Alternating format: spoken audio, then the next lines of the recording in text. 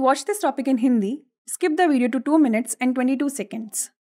Hello everyone, welcome to another episode of Legal Update. Today's topic of discussion is Pay and Recover Principle. First, let us see why is it in the news.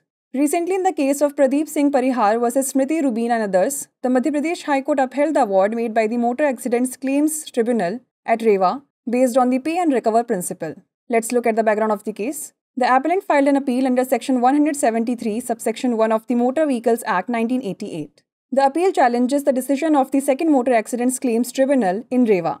The appellant seeks to overturn the tribunal's application of the pay and recover principle.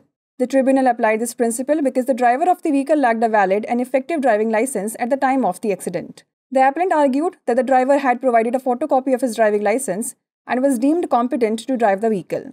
The court's observation was as follows the bench comprising Justice Achal Kumar Paliwal reaffirmed that an insurance company cannot be held responsible if it is found that the vehicle owner did not verify the driving skills of the offending driver before hiring him. Let's know more about Supreme Court's guidelines on the pay and recover principle. This principle was established by the Supreme Court in National Insurance Company Limited vs. Swaran Singh and others 2004. An insurance company must compensate third parties even if there are policy violations related to driving license. After compensating the third parties, the insurer can seek reimbursement from the owner of the insured vehicle. This principle, affirmed by subsequent judgments, ensures that claimants' rights to receive compensation are protected in various scenarios.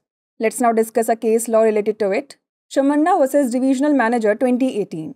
The Supreme Court has addressed the issue of whether an insurer can avoid liability under Section 149, subsection 2 of the MV Act.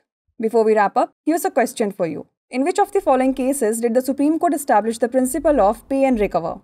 National Insurance Company Limited vs. Swaran Singh and others, General Insurance Company Limited vs. Ratan Kapoor, Max Bupa Insurance Company Limited vs. Sahil Shah, or Life Insurance of India Limited vs. Vikram Nath.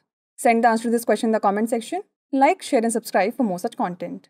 नमस्कार legal update programme में आपका स्वागत है आज हमारी चर्चा का विषय है भुगतान एवं वसूली सिद्धांत सबसे पहले जान लेते हैं यह चर्चा में क्यों है प्रदीप सिंह परिहार बनाम श्रीमती रुबीना एवं अन्य के मामले में मध्य प्रदेश उच्च न्यायालय ने मोटर दुर्घटना, दावा न्यायाधिकरण, रीवा द्वारा भुगतान एवं वसूली सिद्धांत के आधार पर दिए गए फैसले को बरकरार रखा। आइए जान लेते हैं मामले की पृष्ठभूमि। अपीलकर्ता ने मोटर वाहन अधिनियम उन्नीस सौ अट्ठासी की धारा एक की उपधारा एक के तहत अपील दायर की। अपील में रीवा स्थित द्वितीय मोटर दुर्घटना दावा न्यायाधिकरण के निर्णय को चुनौती दी गई है। अपील करते न्यायाधिकरण के भुगतान और वसूली सिद्धांत के आवेदन को पलटना चाहता है। न्यायाधिकरण ने यह सिद्धांत इसलिए लागू किया क्योंकि दुर्घटना के समय वाहन चालक के पास वैध एवं प्रभावी ड्राइविंग लाइसेंस नहीं था।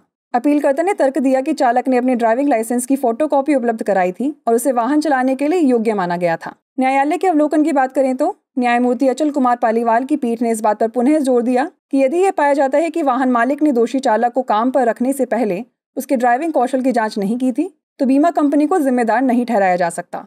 चलिए जान लेते हैं भुगतान एवं वसूली सिद्धांत पर सर्वोच्च न्यायालय के दिशा निर्देश यह सिद्धांत सर्वोच्च न्यायालय द्वारा नेशनल इंश्योरेंस कंपनी लिमिटेड, बनाम स्वर्ण सिंह एवं अन्य में स्थापित किया गया था।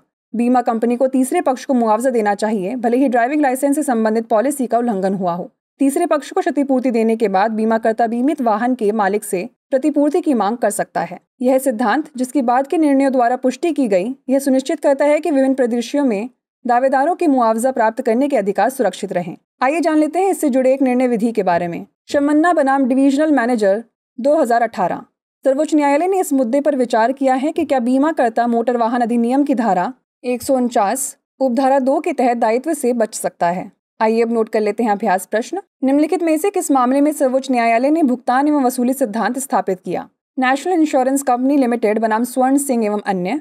जनरल इंश्योरेंस कंपनी लिमिटेड बनाम Ratan Kapoor.